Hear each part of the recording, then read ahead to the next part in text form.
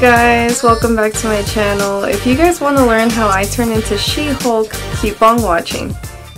Alright guys, let's get started. So first I'm grabbing this green paint from the brand called Bobisuka and I got this from Amazon so I will link it down below just in case if you're interested. It wasn't that great in my opinion but I mean right here I'm just working with what I've got and I just really wanted to make a She-Hulk video so here it is. So first I'm just going to smear this crazy green paint all over my face and originally I did did want to apply it with a brush, but I tried different kinds of brushes and I don't know why it just wouldn't smear on as easily as I'm doing here with my fingers. So I ended up just doing it with my fingers instead and I also don't have anything on my face whatsoever. I did have some primer on beforehand and I tried applying the paint on top of that but I noticed that the paint wouldn't budge. So I ended up just taking off any product I had off of my face and it worked better. I did notice that this paint is kind of like a buildable coverage, but I didn't want it that opaque either, so I just smeared it on as best as I could and I tried to blend it in on my face with my fingers and after my face is done, I'm just gonna go ahead and apply that to my neck, my chest, and a little bit on my ears as well, just in case you're able to see them through my hair because again, I do wanna give the illusion that my skin is actually green. And here I actually have some of the green paint mixed with a little bit of alcohol because that's what apparently the instructions say on the box that you could thin it out with alcohol. I tried doing that but it didn't really help much at all like to apply it better. So here I tried again with the brush but I don't know what it is but it just makes it look splotchy still. So then after I was done with my ears I just grabbed some Born This Way Too Faced translucent powder and I just set in my whole face and anywhere that I applied the green paint and sometimes I regret doing that step. I feel like if I was more experienced with painting my body green. I probably would have just skipped it and I would have just gone straight to using the green eyeshadow, but anyways. So here I pulled out my Morphe Sour Patch Kids eyeshadow palette and of course I am using the bright green shade which is called Lime Burst and I'm just applying it all over my face and my neck and chest as well. And now you're probably wondering why. Why is this girl making her life so much harder by using this tiny ass brush to put on all that eyeshadow, right? Well, I don't know why, but for some reason any big brush, whether it be dense or fluffy, it would just not be able to pick up any of the eyeshadow or if it would, it just wouldn't stick to me. So that's why I just ended up using this tiny ass brush to like apply all that green shadow all over me. So after that, I ended up picking up my Morphe Lucky Charms palette and using the color Leprechaun, I'm just swiping that across all over my lid. And I'm just doing this just to even out the color on my eyelids since I didn't apply the paint to them. And then grabbing the ColourPop Star Wars Mandalorian palette, the Baby Yoda one. And I'm just grabbing the color Sipping Soup, which is this beautiful olive green shade that has a lot of shimmer to it. And I'm just applying that on top of the other green shade. And now I'm grabbing the color Float Your Crib and I'm using that for my crease and my outer corner. Then after that, I'm going back to my Lucky Charms palette and picking up the color Charmed, which is this dark forest green shimmer. I'm just going to apply that to my outer corner, but I'm also going to apply that to the inner corner of my eye. Only because she does have like a nice green smoky eye on the show, so I kind of wanted to mimic that. And now, speaking of the show, I know a lot of people are bashing it online, but to be honest, I do kind of like it. Now, I agree with everyone that says that the last episode was kind of like, what the hell is this type of thing, but I did like some parts. Obviously, my favorite episode is when Daredevil showed up and, you know, she smashed them or whatever. And so I do like the show because it is almost like a chick flick, but there were some parts, of course, that I wish could have been written differently. So, in conclusion, WandaVision remains my number one, obviously, and Loki is a close second. And while I was talking, I did grab that same charmed eyeshadow and I applied it on my lower lash line, but I also sweeped it to my outer corner, kind of to like connect the two of them. And then after that, I grabbed this beautiful Chanel gel eyeliner in black and I just did my cat eyes with it.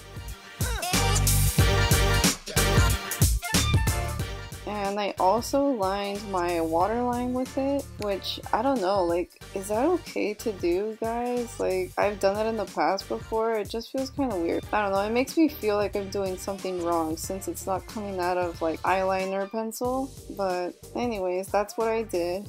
And I kind of closed my eyes shut for like a small second just to kind of like transfer it to my top line too. So now moving on to brows, I'm using the Anastasia Beverly Hills brow palette and of course using the black shade which is called Granite well, I started filling up my brows with the black powder and then I realized after brushing them out, my brows looked a little bit too sparse still. So I remembered I had some NYX Brow Tint mascara and I ended up using that over the powder and this is in the shade black. And then after my brows, I curled my lashes and I applied on some falsies. And these are called Chic. And while I waited for my lashes to set into place, I went ahead and I used the Sephora blush in the shade called Heated or number 16. And I just applied that to the apples of my cheeks and I also blended it in a little bit more using the beauty sponge. And because of course She-Hulk is green, I decided to give myself a nice shiny green highlight. So I used this green shade called Silico from the Power Puff and ColourPop Cosmetics palette. And then I continued with mascara using the Lilly Lashes Triple X Mascara in black and I just coated my top and bottom lashes with it. And then to prep my lips for lipstick, I decided to add on some Kiehl's lip balm and then for lipstick, I used MAC's Cremesheen in Koi Coral. And I really like this shade because I feel like it kind of looks like the one that she used. Again,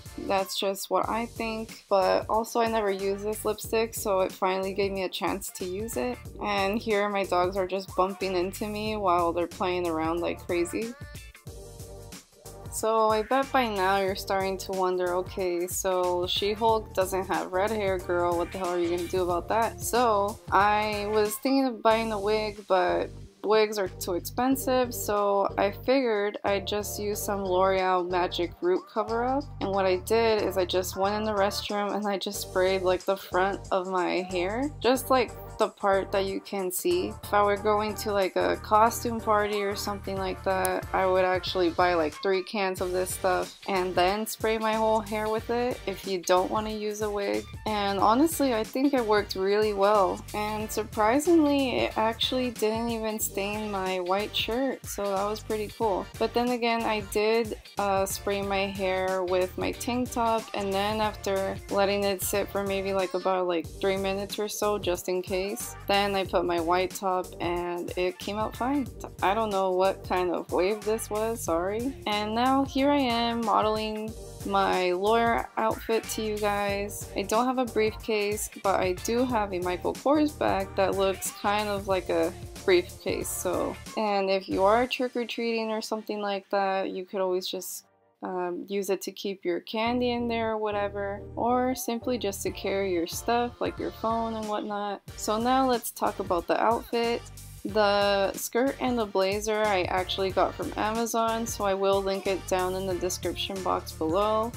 The shirt, I got it from my local Ross. I just went after work one day and I tried to find a comfortable but nice uh, button down white shirt and the purse. Uh, I actually bought it like a long time ago. And the shoes I've had them since forever. I think I've had them since like 8th grade and they still fit me and they're still comfortable. So those I think were from Walmart if I had any complaints about the outfit whatsoever, it would probably be the blazer. In the reviews, people did say that the blazer was too big and the skirt was too tight, and I do agree with that, but in this case, I did like that the skirt was tight only because I didn't want it to be like those loose skirts that wouldn't even give shape to your body. So I'm glad that it fit. I just would have wanted it to be a slightly bigger, but other than that it was fine. But the sleeves on the blazer were a little bit too big, so I did just roll them up a little bit and then it was fine.